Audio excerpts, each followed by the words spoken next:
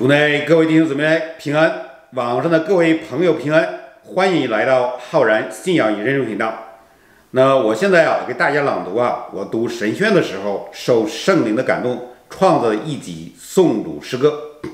那么这个诵主诗歌呢，最早原始创作的时候是用中文创作的，后来又翻译成英文和日文。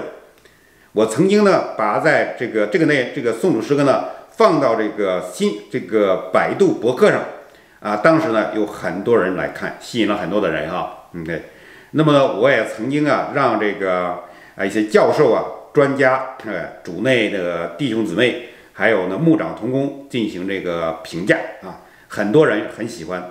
有的这个啊一些资深的牧者啊，OK，他们看了以后就是 touch the heart，哎，用用用英文的这个 牧师看过啊，他们的心被打动啊，说我也觉得很好的啊。那么这个，呃，我这呢，这个因为这个诗歌呢，每一集它一集嘛，所以呢，那每一部分呢长短不一的，长的呢我就这个单独朗读给大家，那么短的呢我就啊这个把它合到一起。那下面前面呢第六啊一到六啊六章啊第一到第六部分已经读完了，那现在呢我就给大家朗读第六部分，OK？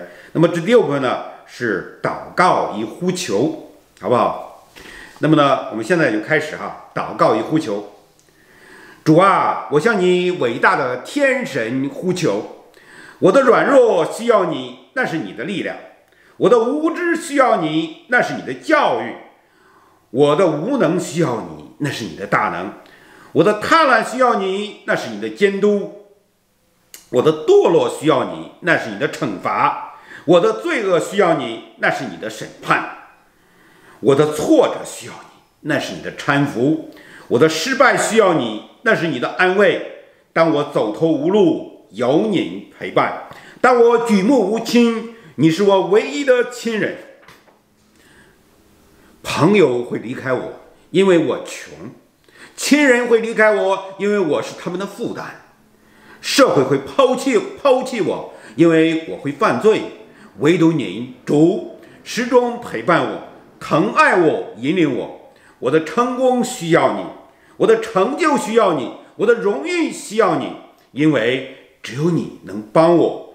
谦虚谨慎，不骄不躁，做一个卑微的人，谦卑的人，做一个醒悟的人。上面就是宋主诗歌的第六部分，祷告与呼求。希望你喜欢啊，转发点赞，好不好？OK。